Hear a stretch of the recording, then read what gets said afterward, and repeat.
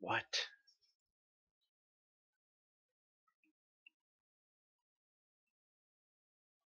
Let me let me process this information really quick, cause what?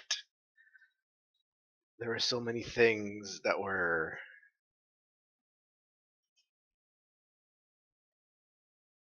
What?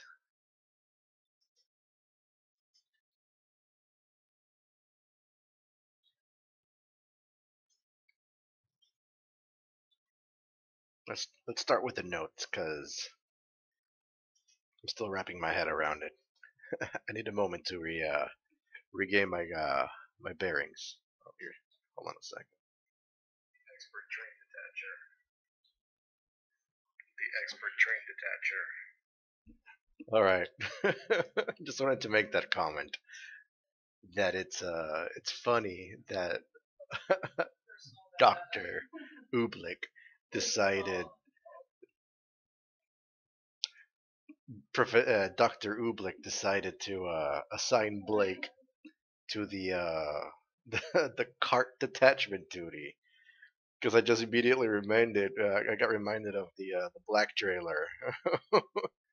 Goodbye, click. And she unhooks the she cuts the uh, the coupling for the train and just sails away and, and separates herself from Adam and uh, I just thought it was funny that uh, Blake took care of detaching these carts.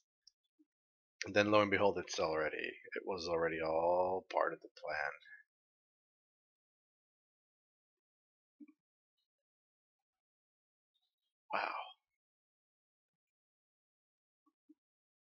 Wow. Um, I, we got a lot to talk about. Let me keep up with these notes.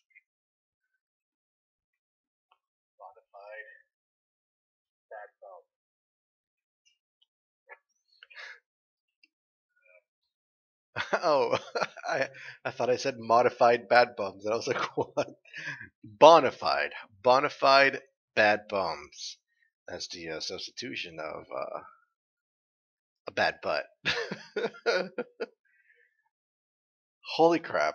Doctor Oobleck in action did not disappoint. It was impressive. He has this sort of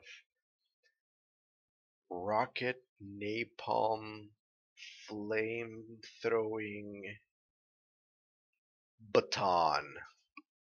That's what I'm going for. a rocket launching flame throwing baton. And it did not disappoint. Um,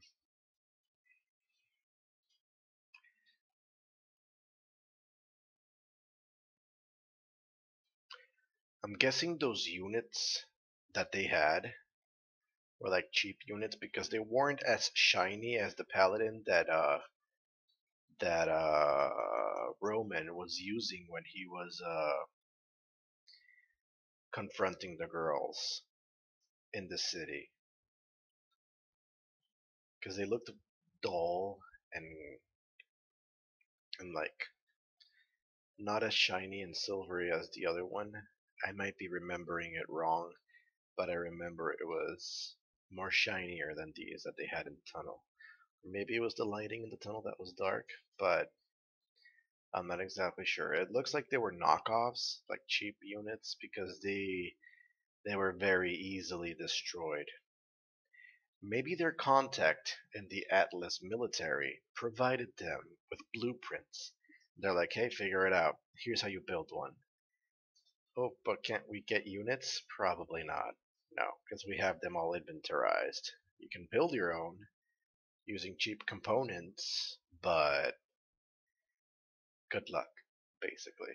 Because also the weapons that they were using, they didn't have that that rocket arsenal and the uh, the lasers or anything like that. They just had like these really crappy pulse cannons, and um, so I'm guessing that the units that they had were like cheap knockoffs that they constructed on their own. Maybe that's why they were underground all this time. They were building up units to ride into the city. And then do a, a joint operation with the Grimm to wreak havoc. Or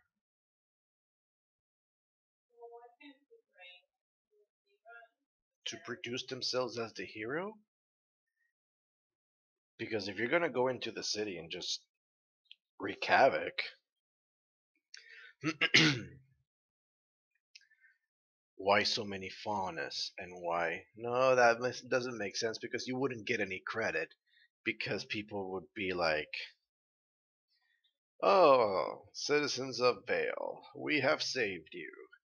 Uh, yeah, from something that you brought upon us. You know, it, it would take away from their credit that they were trying to gain. So it was it was a full frontal assault. They're gonna breach underground, bring in the Grimm, and have all these units to maybe wage war with all the other units that came from the Kingdom of Atlas that General Ironwood, James, has floating around the city. So that's that's interesting. Yeah. So anyway, uh, Doctor Oobleck just completely obliterated units, and um, I can't say I I didn't expect it because when we first met, I'm I'm shaking my desk. When we first met Zwei, Zwei, he was in a can, and he was basically just there for who knows how long until he reached the the bedroom where the girls are at, and then he just poop. So I'm guessing that this particular dog considering the way that he's treated, he shares a very similar semblance to Yang, which is the kinetic energy redirection of, sorts. Um, because basically he just became a a canine cannonball, you know, and that's uh, that's interesting. I'm not gonna try to poke logic out of it because we don't fully know the the the whole concept of Zwei. Zwei. In any case, so yeah, adorable little doggy stayed behind and helped Dr. Oobleck. Let me continue with my notes. I forgot her name. Neapolitan because of the ice cream. Um, because of the chocolate, strawberry, and I'm guessing the vanilla is her skin color. Um, what about her? Dude sounds like Reaper. I remember now. Um, I thought it was gonna be a personal, like there was some sort of history with Yang. At the moment, I didn't think about it, but then I remembered Oh yeah, she helped Roman escape during the Paladin incident, and I'm guessing, I'm guessing that really made uh, a bad taste. It left a bad taste in her mouth, and she can't, she can't uh, let it slide. You know, the one that got away, and I'm gonna get her now. So that's why she's probably this one's mine. That's that, that that's the connection that they had. I was like, wow, it seems like they have a history together, and they do. I just couldn't remember at the time. They uh they were in the Paladin incident, and then Yang uh Neo Neapolitan helped Roman escape by becoming a glass something, a glass mirror image of themselves. and then Weiss cracks the joke. I guess she really make her plans fall apart. Eh? Eh? She's trying. Anyway, Weiss is trying. Weiss is being so thoughtful of her teams. She has come a very long way from what I, from what we last remember. Um, they have the uh, the pineapple in the beginning, and then as she starts progressing along, she's becoming more involved with her team. She's becoming more um, there for them, helping Ruby be the leader. And like she said, and like she said, she's gonna be the best teammate you've ever had. I can't be the leader. I keep shaking my desk. I can't be the leader. That's fine. I'll be the best teammate you'll ever had. And and she's living true to it.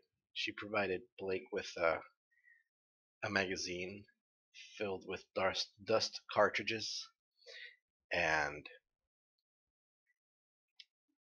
she's coming around. That pineapple is getting sweeter by the moment. oh, Weiss, Weiss, Weiss.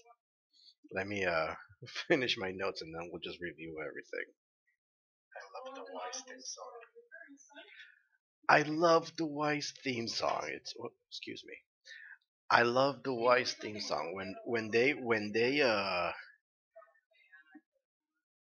rearrange the tones for Mirror Mirror and they did it in Best Day Ever when um when they're doing the food fight scene in the cafeteria or the the, the mess hall the mess hall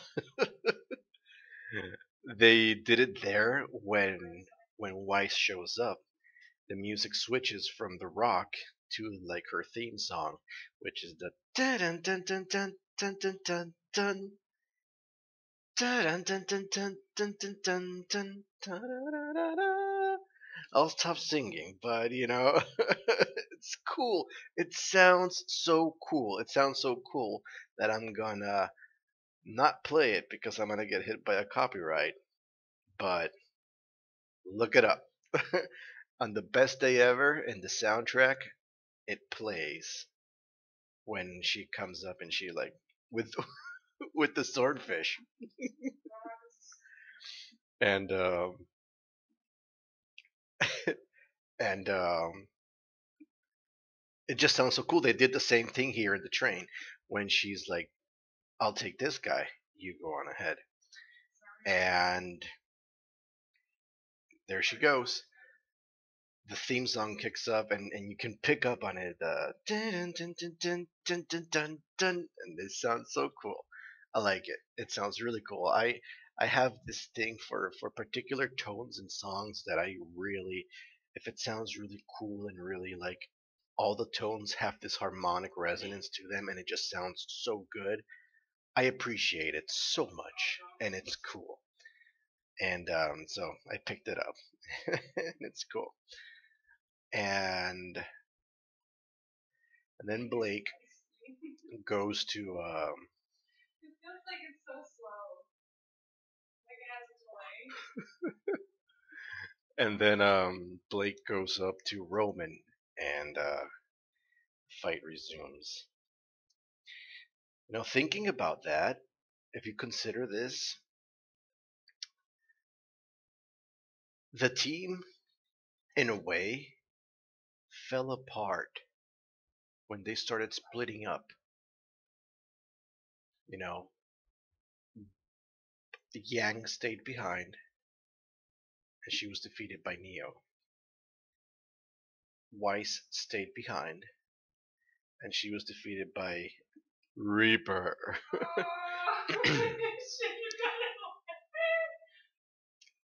I finally wait. I can do this. Hold on. I finally get to kill a snake. um. So yeah, by the Reaper Chainsaw guy. um, so she was defeated by him.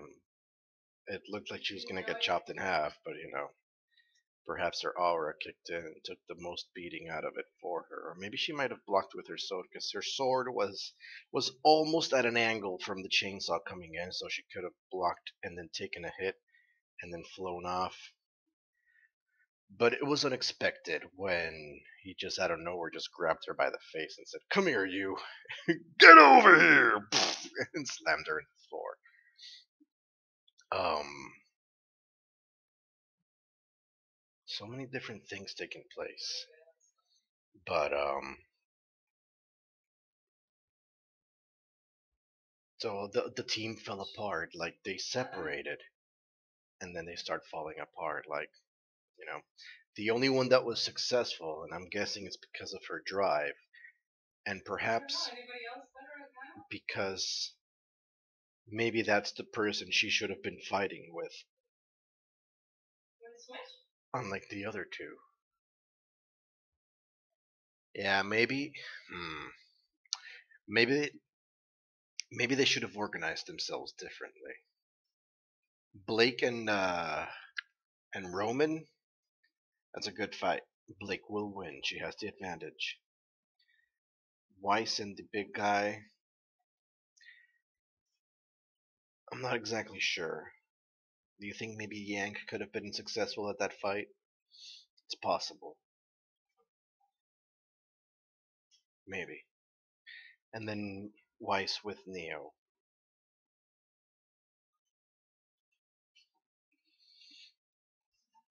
Perhaps the organization was not right. Excuse me. Alright, so so the teams fell apart and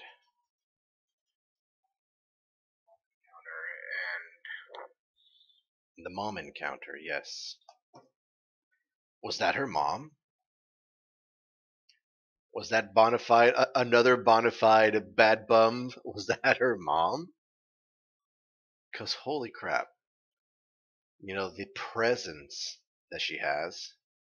I guess you can say it's like at the same level of the presence of of Adam, Blake's um, mentor, in the fact that they have this this I don't want to say aura because it's not though it's not the aura I'm referring to. I'm referring to like this this it it I don't know what the word for it is. It it it it, it, it exudes this this area this this okay it's a freaking aura. It exudes this aura of like dominance and dangerousness and powerfulness. And when she just shows up, stops Neo from finishing off Yang, and then her slow movements and her composed nature. And then she's like looking, and then she brings it over, and she's like, I got something for you. And then she has this huge array of different dust things, and she's like, let's go with red.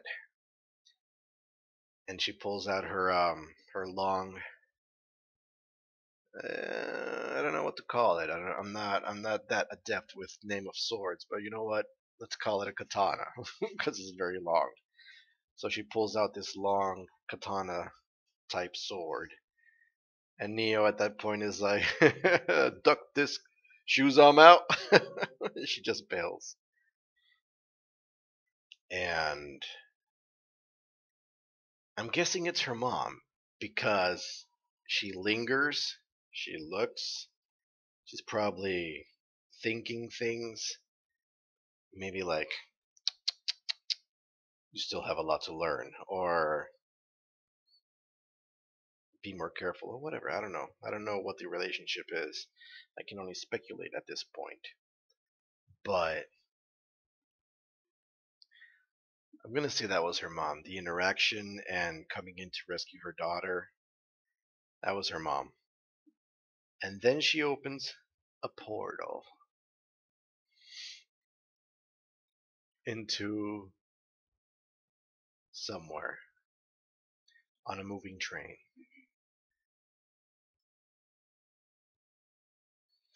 The implications of this, I don't know. I do not understand the physical laws and the the meta manifestations of how things are and the the energy and how things are balanced in remnant yet. I don't have these details. So all i can do all i can do at this point is say that's how it is. You can apparently open up portals if that's your semblance and Maybe that's why she's always on the move. She's portaling around. And who's to say it's just for locations?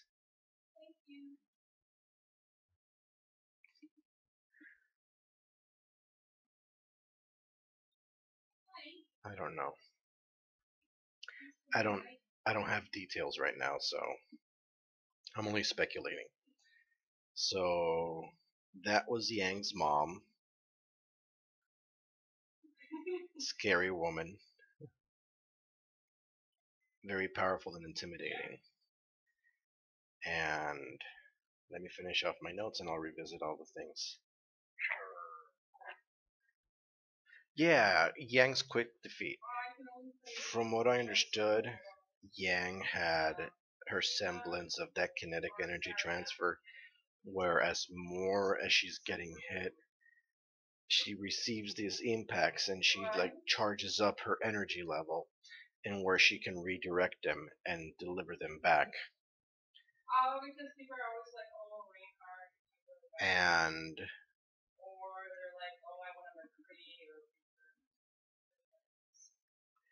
and the uh,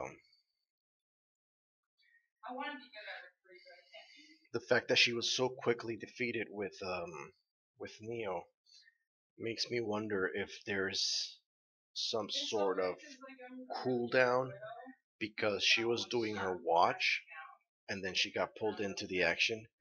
Maybe because she was tired, she didn't have enough time to fully charge your semblance because we know that it is possible for your semblance to take a toll on you. And considering that when when Ruby was trying to carry uh, Penny and she did her speed burst and it kind of like all that energy transfer trying to carry that weight brought down her uh, her uh, her her energy levels to the point where she like passed out to a point she she uh, lost consciousness and um, it's possible that because of these things maybe Yang wasn't fully charged up and good to go. Maybe she was maybe her fight she had to use the semblance beforehand when they were coming into the cave to rescue Ruby. I mean, we don't we don't know. We didn't see what they had to go through to get to where they were before the fight. But clearly, the impacts took a toll on Yang, and the harder she gets hit did not make her stronger at this point. That's the only thing I can speculate, or that's the only thing I can piece it together for it to make sense. Um, but yeah, she, she suffered defeat at the hands of Neo, and and those are all my notes. So, revisiting everything as a whole.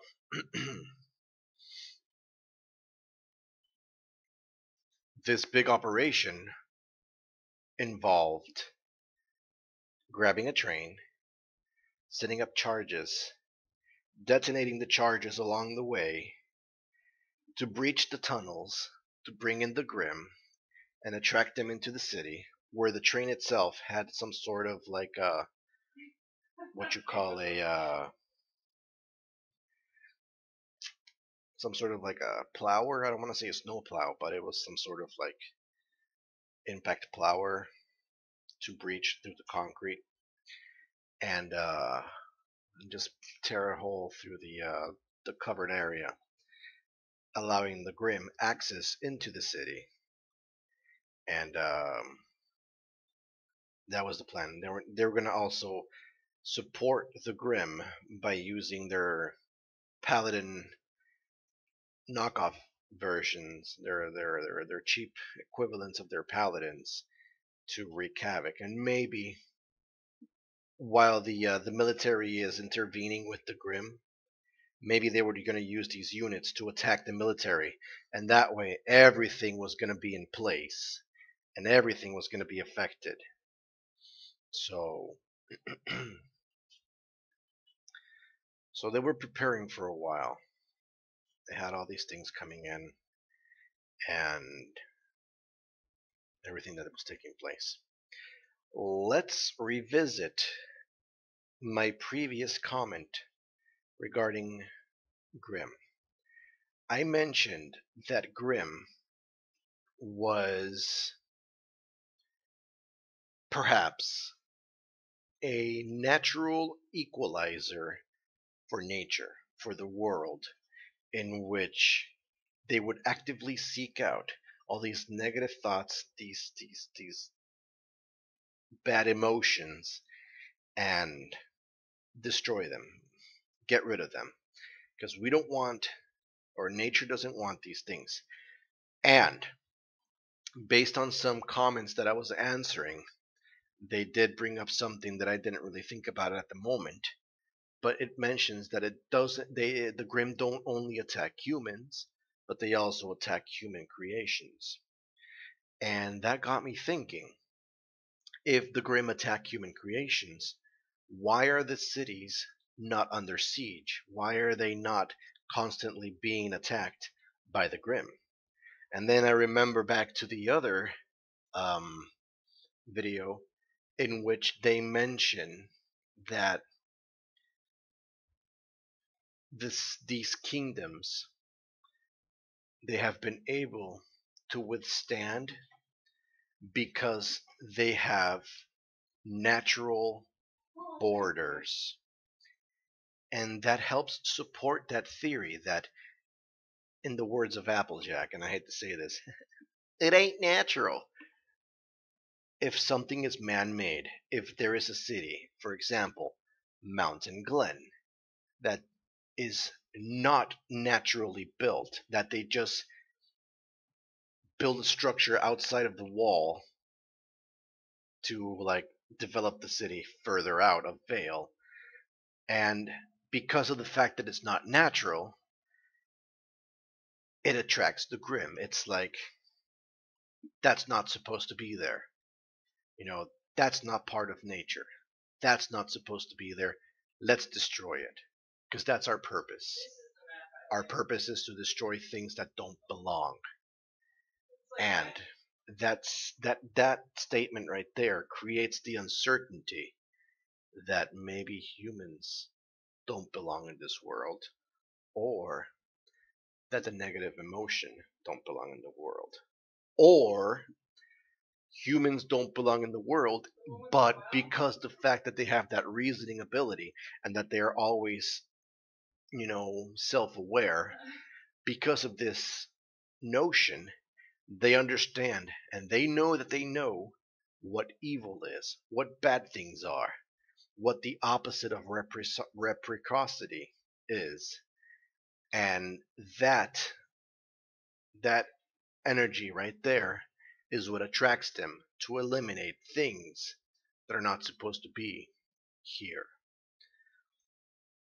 Um, I don't know where to take this because I haven't really sat down and thought about it, but these are things that are there, that are present, and things that I'm kind of noticing.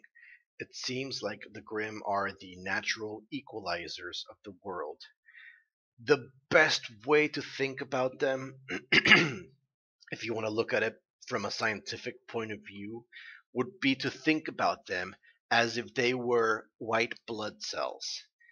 And let me explain what I mean by this.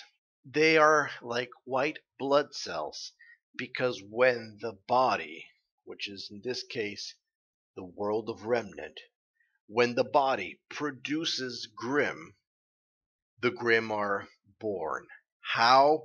We still don't know. I still don't know. Maybe it has been revealed in volume 3 or 4, but at this point, I don't know.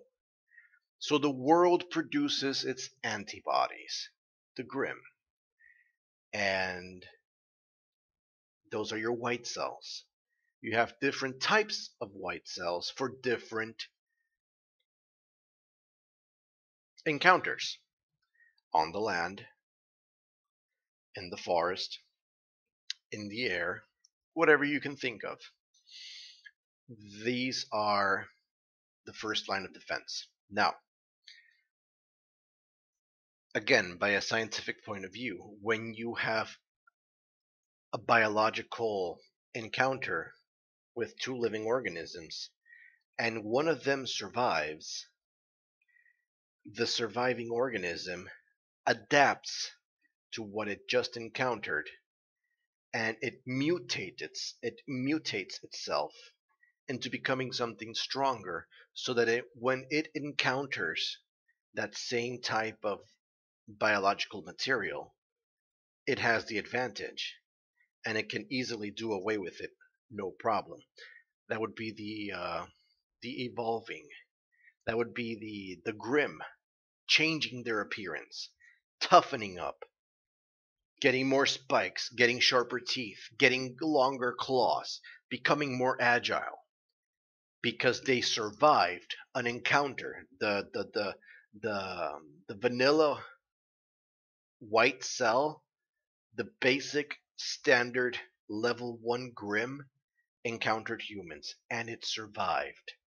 It wasn't it was it was reckless it was just go out and destroy whatever i see and i find. Oh what's this? It can fight back. What the heck? Oh my god. I survived.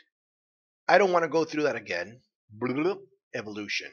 And it evolves into something stronger better more efficient and more armored. And this is this is the uh, the inclination that I'm taking. It seems like the Grimm are the white blood cells of Remnant, and it is rather unfortunate that humans are being targeted. Because I vouch for humans, we're all humans, and we like the characters, but it seems like these characters are an alien entity to this planet. Um, because you can think back from the beginning in the first video. Since mankind, darkness, sorry, it first talks about darkness, darkness, darkness, and that when mankind, darkness, and the creatures and everything, and he was always outnumbered, and how did they survive? We don't know, but they managed to have like people reproducing and whatever and then they managed to find and uh, utilize dust and then with dust they were able to build their cities by using natural borders because it belongs to the planet. It belongs to remnant. Um, so that's that's the indication of how I am metaphorically interpreting the purpose of Grimm, why they're there, and why they do the things that they do. They are attracted by these negative emotions, which could be brought upon self awareness and knowing that people know and people understand what's good, what's bad, what's fear, what's anger, what's hate, all these things attracts them because it's not natural in a natural environment, taking away the human element.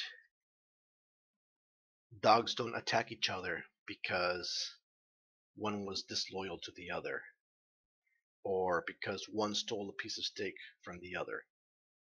There's this hierarchy of alpha, clan, and so on and so forth regarding the the hierarchy of animals, and that's pretty much in the entire animal kingdom. It differs with minor details here and there, but it follows the same protocol, as in you have a leader, the pack, and everybody follows the leader. When the leader is gone, another leader takes over, so on and so forth. And we're there to survive. We're there to eat, sleep, reproduce, and just be there.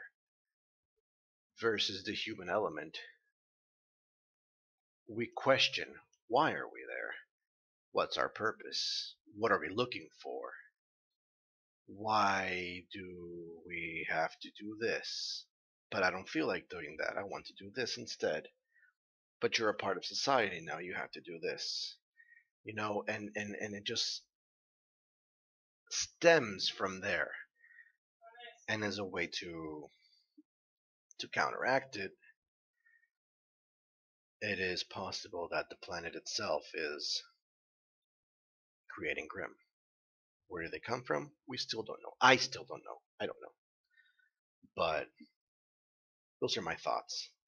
And then also another thing I wanted to mention um, that I also read in the comments that uh, I, I was picking on the hints, but I, I thought it was just me. But when somebody mentioned it, I was like, that's right. Okay, so you picked it up too, so it's not just you. So I'm going to mention it now. It was when I was talking about Blake that she has her animal and her human side, right? And it seems that they're in constant turmoil within her. And that's why she's so like, but I don't want to run away, but I always run away, you know? And the the interesting thing is that in the beginning, the book that Blake was reading was about a man that was that had two souls fighting for control of his body. And that is possible. That could have been the indication of what she might be facing. She's reading up on a book that has a similar turmoil situation that she's experiencing right now to see if she can get some different point of view as to how do I deal with this. You know, I want to be there. I want to fight. I want to help. I want to be present. But I always end up running away. I always leave. I always flee. My semblance is bail out. You know? So she's probably reading up on that book to get a better understanding to understand herself. This show, let me tell you something. This freaking show, man, since the beginning, cross volume, it doesn't matter. If it was there, there was a reason behind it. And holy crap, it's really something. This can make us go so deep, so deep into things that it would take me three, four, five hours just sitting here and thinking about these things.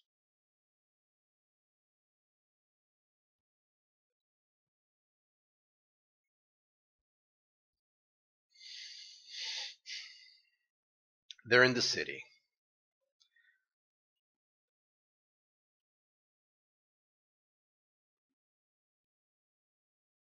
Just random thoughts that are coming back to my mind. If you thought that Jaune's aura gauge was big, so it's um, it's crazy that that dog was able to take that beating. Just he became a fireball, and he just destroyed those mock-up paladins like if it was nobody's business. Holy crap! That's crazy. Um, am I missing something? Let's review. Tunnel, train, carts, lake, doctor, bombs, grip, train, go, fights. Yang's mom. Roman, train, cart, city, go. I mentioned about Grimm. I mentioned about Blake. And I think that's it. That's it. Ladies and gentlemen, boys and girls, thank you so much for watching another watch along with Charfox. That's me. Um, we are officially one episode away from the very hyped up volume three that everybody is like, I can't wait, I can't wait, I can't wait, I can't wait, I can't wait, I can't wait. So, one episode away, and clearly one World of Remnant away, which I have already requested my moderators to produce for me so that I can bring it in. They told me don't go looking for it because there's a lot of different things out there. And knowing me, they know that if I see a thumbnail with something particularly interesting on it, it's enough to make me start thinking about it and maybe ruin things for me. So they don't want me to go navigating outside of my channel. So they're going to produce the Aura World of Remnant for me and send it to me so that I can watch it. And I will probably watch it before or after. I'll leave that up to you. Um, because apparently everybody's saying that it doesn't matter what order it's in as long as I watch it so I understand how Aura works better. So, if you guys want me to watch it before the next episode, let me know. If you want me to watch it after, let me know. After I finish washing, uh, washing, watching, after I finish finish watching the um the episode The World of Remnant, I will go ahead and listen to the soundtrack for Volume 2 just like I did with Volume 1 and then I'm going to do my final video on Volume 2 which includes everything that I can remember and that I talked about I'll revisit to see if something else comes to mind as I'm going over all the things. I'll revisit it mentally from what I remember. I'll talk about the songs, their lyrics, what I think of them, what they're telling me, and what I am understanding from it. And and with that we will close volume 2 and move on to the much anticipated volume 3. Um I'm missing something. Yes, I am. What was it? Oh, yes. For the songs, in volume one, it was so painful and distracting to have you guys sit through me listening through the songs and then trying to remember as best as I could the lyrics. So that's why I started that movement of free the lyrics and my moderators have accepted. They are going to say, okay, we'll let you listen, uh, we'll let you read the lyrics after you listen to the songs so that you don't have to sit there and hold people hostage for 15 minutes, 20 minutes while you're trying to remember things that you just heard. Um, so I will have that to my advantage and will listen to what my moderators consider to be very important key songs. They know a lot about Ruby and they have been giving me keys. And I have been trying to open the doors on my own. So that's how this has been working. Um, Twitter.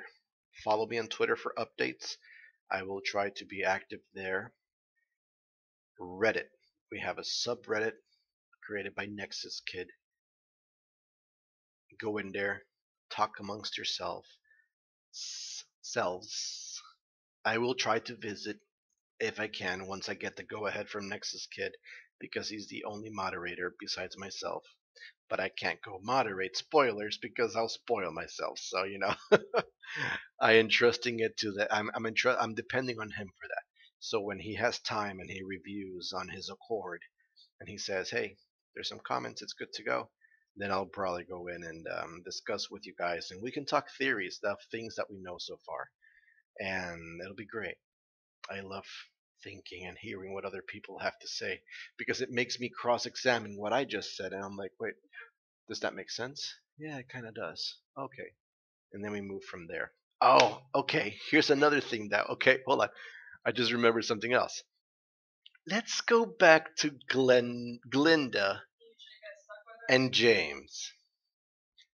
Let's think about this for a second. All right. Remember, I was talking about like, wow, that's a huge character change from Glynda, you know, because originally it was like, oh, I can't stand your machismo bravado coming out here with your warships and blah blah, blah you know, and then it's like, Senpai, what's the matter, Senpai? Why are you looking menacingly over there? What's going on? Talk to me, Senpai. Oh, my arm is acting up. I gotta look in the horizon. you know? So so uh let's revisit that really quick. What happened before that? Because the party was over. Alright? They danced. May I have this dance? Baka. It's not like I want to dance with you or anything. And they go dancing, whatever, right? And um, so they danced. And then the next day, they had their assignments. The kids had their assignments. And then that night, James is sitting outside by himself. Now, how did Glynda find him out there? And I, this is just me speculating, but some people mentioned it too, and I'll, I'll, I'll, I, I feel compelled to look in that direction as well. They were, uh, they were making the blankets warm together. They were, they were together that night, and then his arm started acting up, and he decided to dress himself up and go and stare menacingly at something and uh, at the horizon. And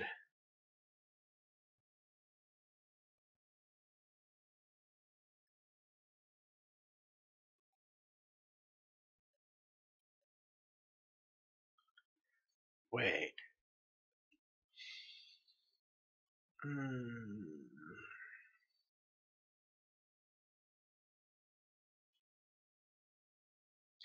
I can't.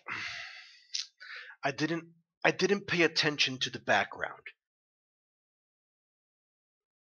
Yes, it was.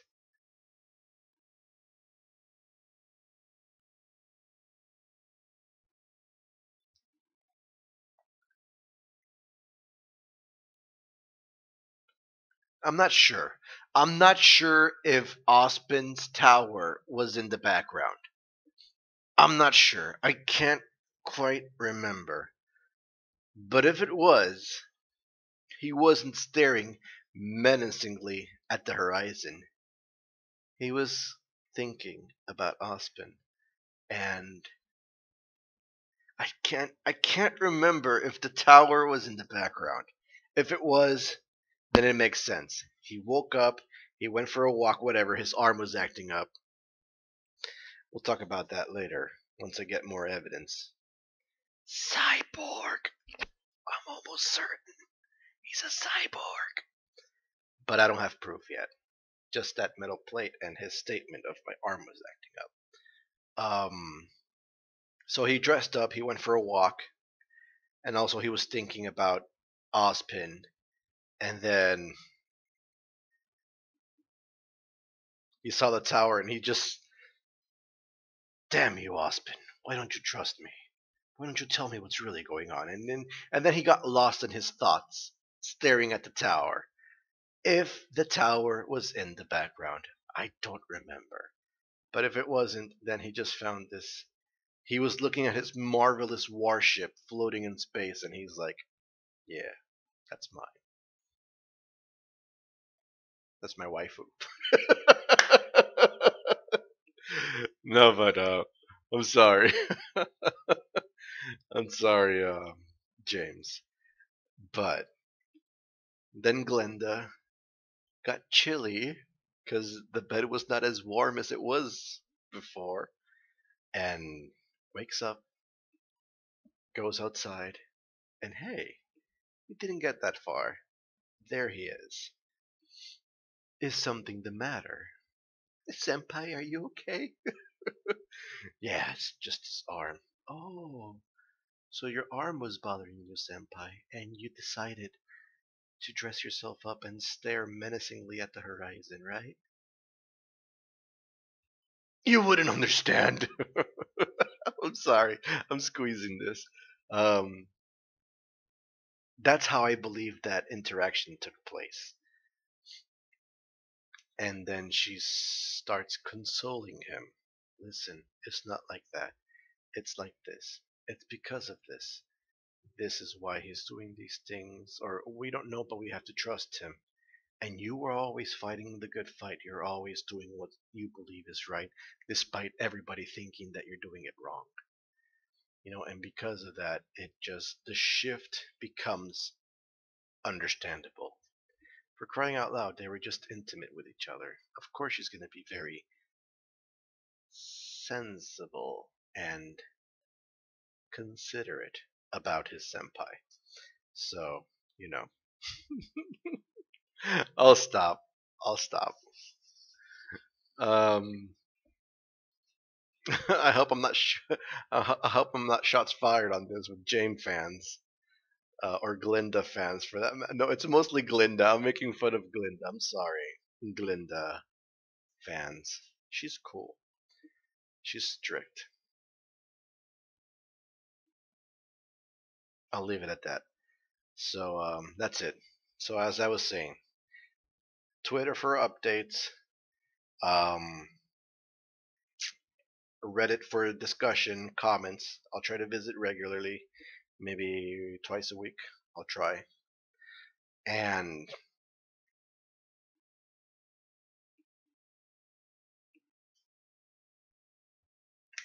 Patreon. If you want, if you like what I do, if you think it's fun or you enjoy it and you want to help me out financially, you're more than welcome to. I don't expect it, but I greatly appreciate it. So thank you very much. Now, for real this time. Ladies and gentlemen, boys and girls, thank you so much for spending some time with me and listening to me ramble. We're almost done with Volume 2. We'll get there. And um, thank you so much for your support and for everything that you do. Um, I believe that's it. Oh, look at that.